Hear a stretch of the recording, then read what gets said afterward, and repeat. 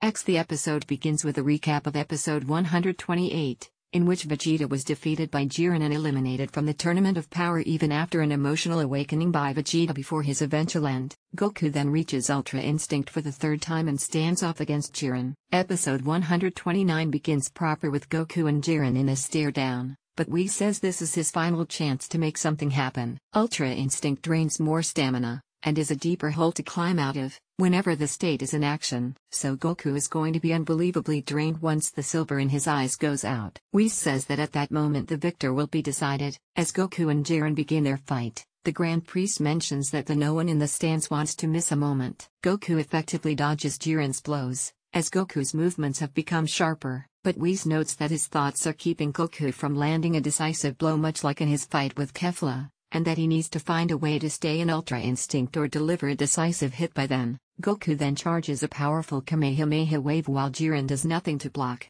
The Zeniths are understandably impressed by this, but Jiren is able to block this as well. Toppo notes that Jiren has watched Goku throughout each of his fights and has memorized his movements. The Grand Priest says Goku's ace was no effect against Jiren as he's blasted away. Luckily he managed to use his wave as a barrier to keep from a decisive blow but Belmod is confident that Goku can't win as long as Goku's offense isn't up to par. Vegeta, however, scoffs at this.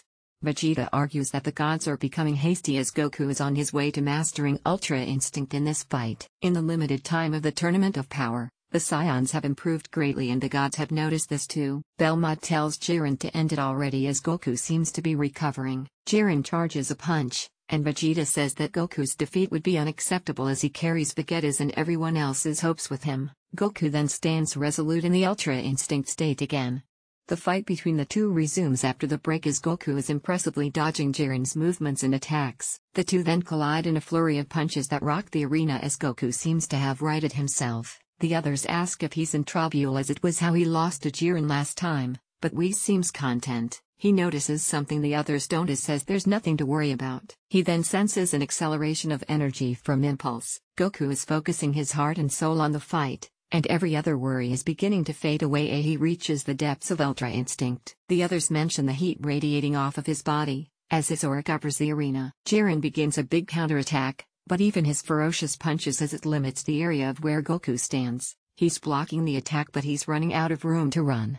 The others worry, but Beerus is resolute as Goku stands tall underneath all of the attacks. Goku is taking them all head on, but Belmod thinks Universe 11 has won. But Goku begins counter-attacking as his punches begin to collide with the shockwaves of Jiren's attacks. He manages to push all of Jiren's punches back and reaches Jiren with his own blow. With one big cry, his energy blankets the arena and looks much different than before.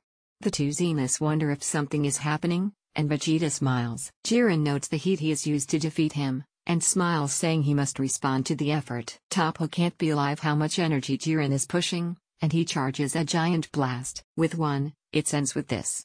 He launches the attack but Goku's hair turns silver and the blast immediately disappears. Goku then stands behind Jiren, holding the blast in a much smaller capacity and it fades away. Jiren tries to attack Goku's new glowing form, but he's easily missing the attacks. The gods begin to rise in anticipation as Goku unleashes a flurry of punches on Jiren while standing still. His full form is completely revealed and Beerus asks if Goku's reached it. He comments with the following, that form, that glow, that, that indeed is the complete Ultra Instinct.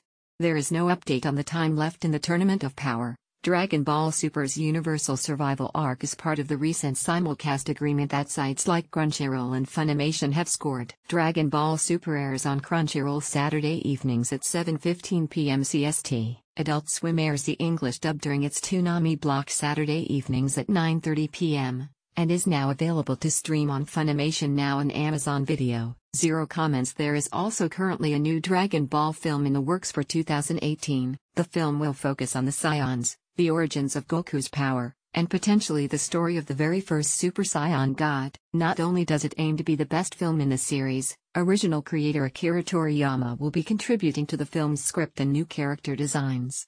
What did you think of episode 129? Tell us about it in the comments.